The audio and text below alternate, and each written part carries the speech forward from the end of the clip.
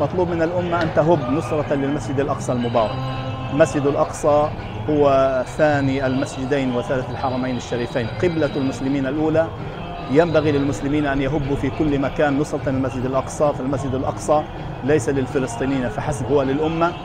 توراتهم المزيفة المزورة. فهو صوت الحق والنصر والقوة. الأقصى لنا لا للظلمة. فيك يا أقصى. يا أقصى. يكفيك يا أقصى. تبدأ على مستوى علماء الأمة بأن يقوموا بدورهم ثم الحكام أن يقوموا بدورهم ثم المرابطين في المسجد الأقصى أن يقوموا بدورهم. ولهذا تتضافر كل الجهود لكي تؤدي دورا واضحا في حماية المسجد الأقصى.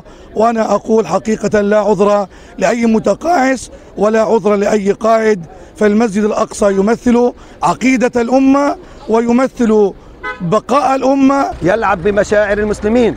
مطلوب أن تتحرك جمهور جماهير الشعوب العربية والإسلامية وأن يتحرك العلماء في كل مكان حتى ننقذ المسجد الأقصى من غطرسة وظلم وعدوان اليهود. المتطرفين اليهود برعاية الحكومة الصهيونية يعيثوا في المسجد الأرض الأقصى فسادا في داخله وتحت أسواره في مقابره في مناهجه. يقتل المقدسي يعتقل المقدسي يداس على رؤوسهم يجوع ويقتل ويهجر في ساحات المسجد الأقصى أنهم هم أصحاب السيادة الدينية والروحية وحتى السياسية على هذا المكان المقدس.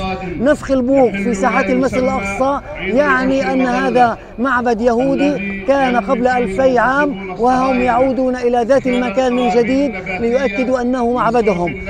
ومنصات التواصل الاجتماعي للقيام بدورها في فضح الانتهاكات والاعتداءات الصهيونية على المسجد الأقصى المبارك وتعبئة الجماهير والشعوب العربية والإسلامية وحثها على التحرك دفاعا عن المسجد الأقصى المبارك.